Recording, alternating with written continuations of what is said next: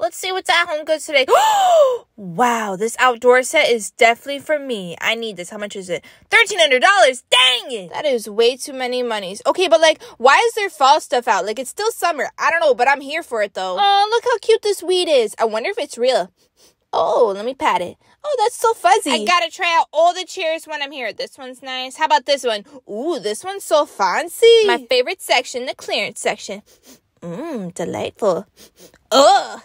Mmm. No wonder these candles are in the clearance section. Ain't nobody want it. Oh my goodness, this is the cutest bed I've ever seen for a kitty. I gotta get it. Oh wait, I don't have a kitty. I don't like today. Hmm, maybe I should go adopt one. Ooh, pretty colors, pretty lights. but this mirror, I've never seen anything like this. You know how many selfies I could take in this? I definitely gotta get one of these before the end of my life. And that's a wrap on HomeGoods. I didn't buy anything today, even though I liked everything in there. But that's okay. I'm gonna head over to Marshall's and see what they have.